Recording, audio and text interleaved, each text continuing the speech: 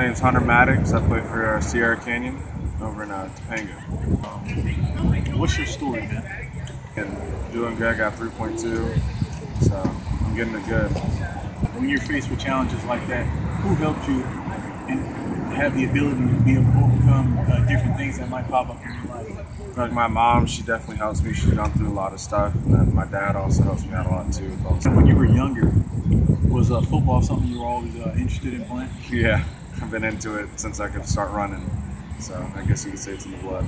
Is it true? Uh, rumor has it you were you a running back when you were younger? Yeah, I was a running back. I, I was pretty much running back my whole time before I turned into uh, eighth grade when I was too big. So I went down the D line. When you transitioned D line, uh, was that an easy transition from being a running back to D line? I mean, yeah, I mean, all I had to do was work hand-eye coordination, and that was fine. I mean, Who are some of your uh, favorite players?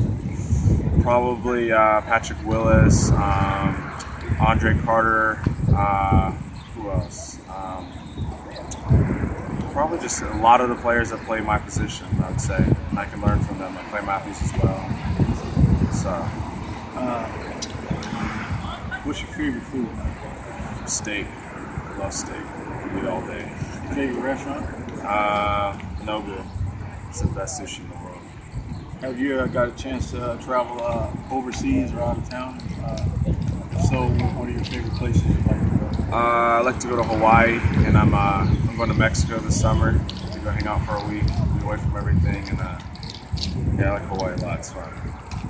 Uh, for scouts, man, what is something that uh, you really like them to know about you uh, as an individual? What, what what can they be expecting to get uh, when they receive Hunter Mattox, Hunter, Hunter Mattox at their place of uh, training?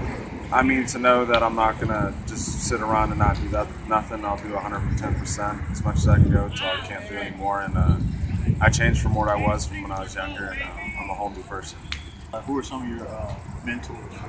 Um, my dad, because he definitely shows me all the ropes. Um, a friend named Richie, my coach at my school. Um, who else? My trainers who helped, who helped me out a lot, get me back to normal. So, Man, that is wonderful. Uh, any uh, advice uh, that you can give maybe a young a youngster in middle school that might be looking up to you? What advice would you give? I'll tell them don't give up on your dream. You just gotta keep on going, even if you hurt yourself. You just keep on going. Don't give up. Uh, just don't give up. That's the main thing. Just keep on doing what you want to do.